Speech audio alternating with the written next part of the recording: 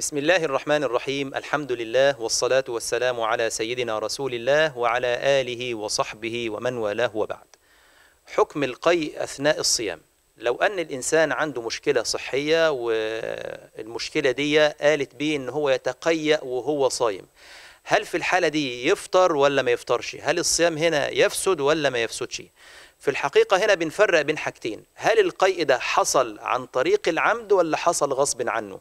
لو أن الإنسان تعمد إن هو يتقيأ وهو صايم يبقى في الحالة دي الصيام بتاعه بيفسد ولازم يعيد اليوم ده ويقضيه بعد كده.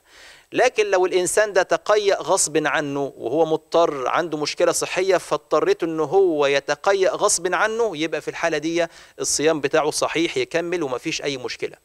سيدنا النبي في الحديث الشريف بيقول من ذرعه القيد فلا قضاء عليه ومن استقاء عمدا فليقضي. يعني اللي تقيأ غصب عنه في طعام خرج من معدته غصب عنه هو مش متعمد يبقى ده ليس عليه القضاء. من ذرعه القيء فليس عليه القضاء ومن استقاء عمدا فليقضي. استقاء يعني هو بنفسه عايز يتقيأ هو عايز يخرج الحاجة دي بنفسه من بطنه يبقى في الحالة دي يقضي هذا اليوم بعد كده.